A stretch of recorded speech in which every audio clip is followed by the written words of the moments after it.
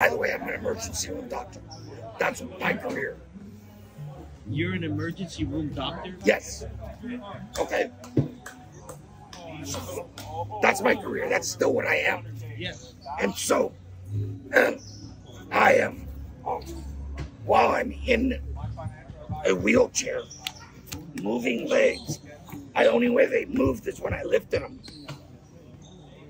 I said, after a couple other discussions, I said, Lord, if I ever get back to being a functioning emergency room doctor ever again.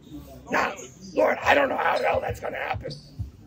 I, I, I broke seven vertebrae. I severed my spine. I can't do anything. You realize they're functionless. I know you do. But if I ever get back to the emergency room, I know you're, this, these are my discussions. I know you're not a deal making God.